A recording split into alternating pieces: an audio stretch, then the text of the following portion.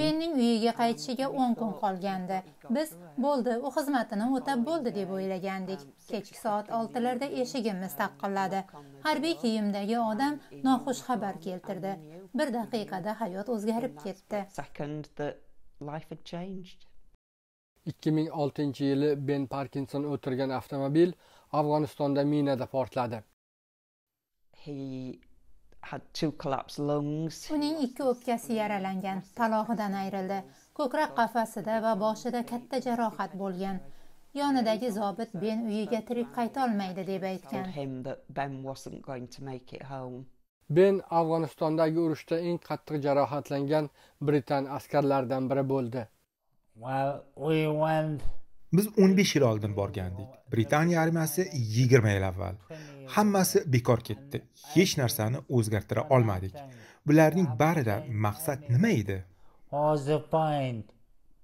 ben ko'pchilik jarohatdan keyingi azob uqubatlarni boshidan kechirayotganliklaridan xabardor u qanchalik ko'p qurbon berilganini biladi va bulardan biror ma'ni bo'lmaganini ko'rish og'ir. Qarindoshlari benga o'zini tiklashiga yordam berishyapti. Boshqalar esa shundan ham mahrum. Erim o'g'limdan so'radi xatar qanchalar kattaligini bilasanmi? Ota xatarlar borligini bilamiz lekin bu haqda o'ylamagan afzal. Aks holda hech kim u yerga borishni istamaydi. Richard 2009 yili helmand viloyatidagi patrulda bo'lganida avtomobillari portlagan. O'ta og'ir yaralangan holida britaniyaga olib kelingan. Ular menga yashashga umid yo'q deb aytishdi. Yonida qancha xohlasangiz shuncha bo'ling deyishdi to'shagi oldiga bordim ruhoniy istasangiz vidolashing dedi men aytganini qildim have to tell him it's okay to go. So that's what I had to do. Hardest thing I've ever done in my life. bu hayotimdagi eng og'ir ish bo'ldi I'm incredibly sad. Men hozir haddan ziyod g'amga botdim. Juda jahlim chiqdi. Chunki yigit qizlar jonini bergan shuncha ish havoga sovurildi.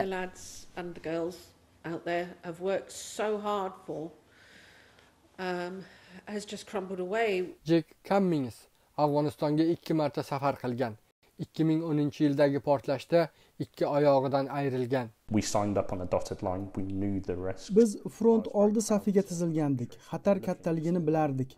Men mamlakatimga xizmat qilganimdan faxrlanaman. Lekin afg'oniston qulaganini ko'rib o'zingga o'zing savol berasan. Arzirmidi shular o'ylaymanki yo'q. Tolibon afg'onistonni qo'lga oldik degan yakshanba kuni hezel o'g'li halok bo'lganining 12 yilligi kuni edi u o'g'li qabrini ziyorat qildi. I put the, the flowers on his grave and I sat and talked to him and men qabrga gul qo'ydim. O'tirib u bilan gaplashdim. Oxirgi hodisalarni aytdim.